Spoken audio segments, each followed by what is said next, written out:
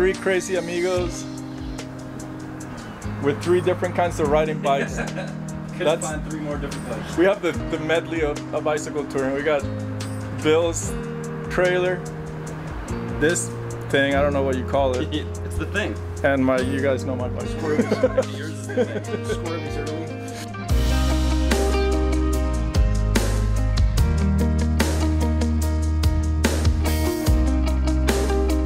During the next five days, Bill, Jason, and I will be riding a loop around a section of Wyoming's Bighorn National Forest, starting from the city of Sheridan and passing through the towns of Ranchester, Dayton, Greybull, Ten Sleep, and Buffalo, and ending back in Sheridan.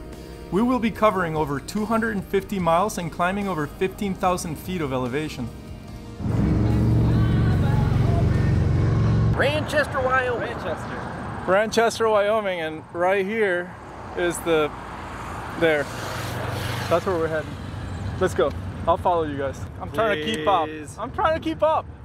But we're at the mouth of the river and we're about to like start paddling upstream. Where are we?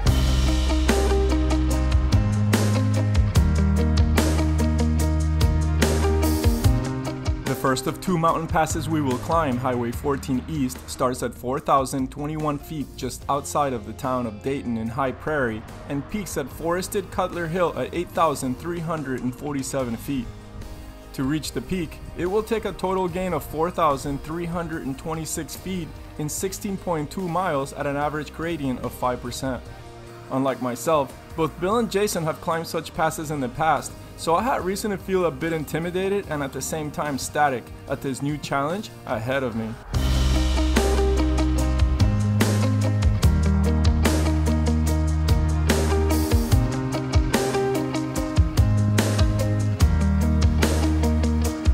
Just rode 30 miles from Sheridan to start climbing the Bighorn National Forest, Route 14. We're gonna do four to five days, depending on the weather. We're supposed to get snow day after tomorrow.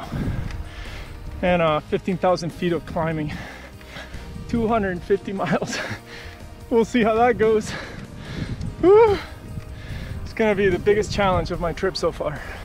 Established in 1897, being one of the oldest government protected forest lands in the United States, and with its diverse landscape of glacial valleys, clear lakes, rolling hills, alpine meadows, and grasslands, north central Wyoming's Bighorn Mountains offer one of the most scenic experiences the nation has to offer.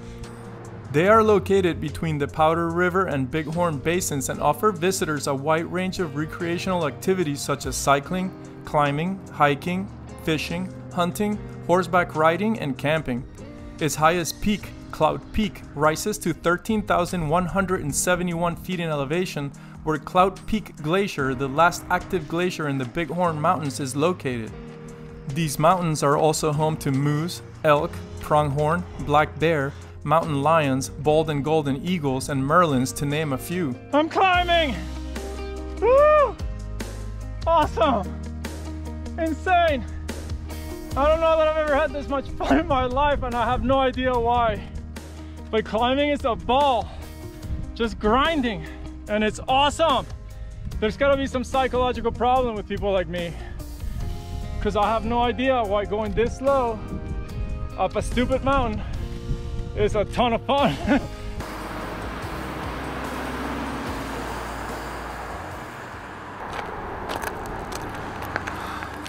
Insane! I'm just going like three and a half miles an hour to 4.7 miles an hour. Just the best I can just to keep moving and only reason why I stopped is because of the sign. I wanted to get myself in a Bighorn National Forest sign. But uh, the steepest part of it is coming up and I'm only halfway up to the first big peak. So let's go.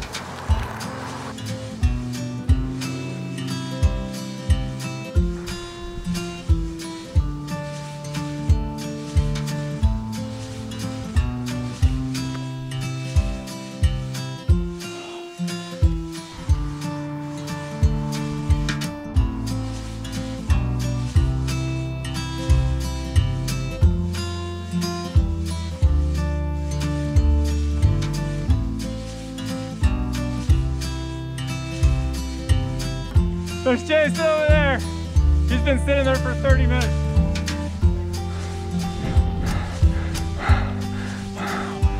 Awesomeness. That was amazing. I love climbing. Why do we like climbing so much?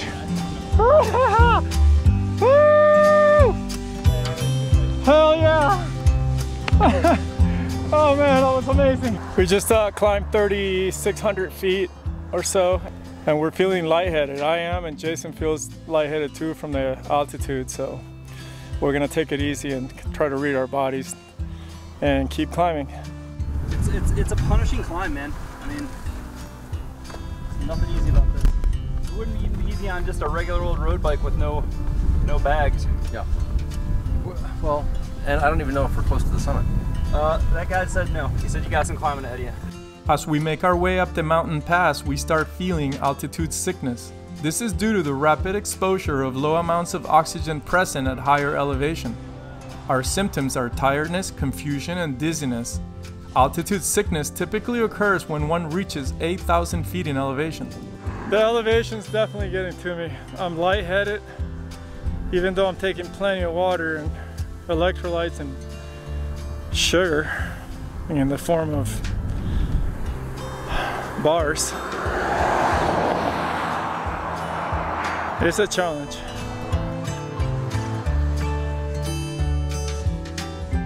The cold front's coming through and uh, it's blowing 30. We still got 2,000 feet to climb.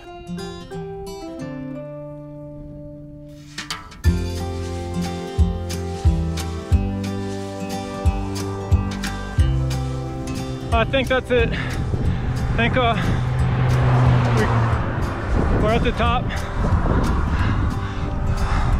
Finally some flat ground. Unreal. I'm so happy right now and tired. Ridiculous.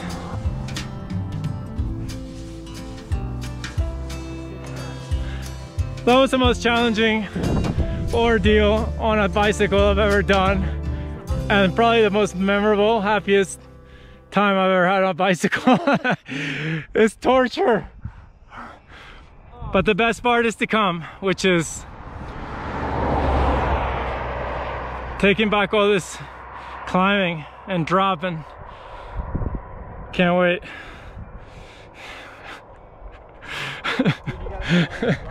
Woo!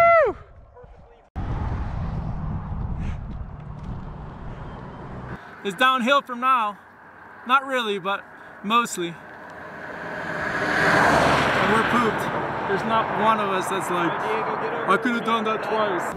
I'm super psyched that my buddies came with me, Bill and Jace. We crushed this mountain. I'm ready to do higher, bigger, and steeper.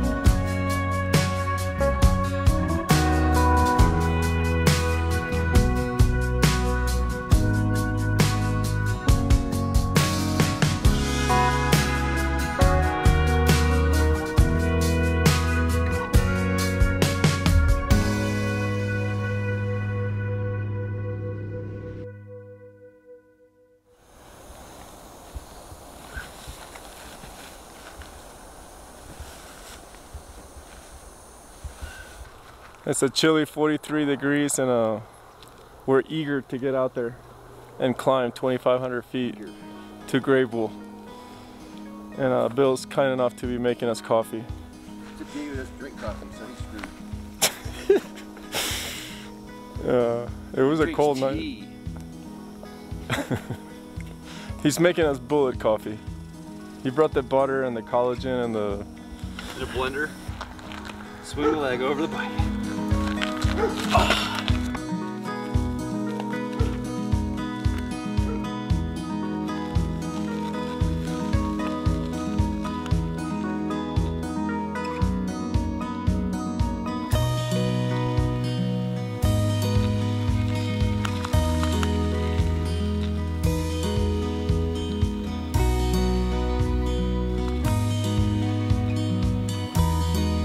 gonna drop 4,600 feet in 18 miles.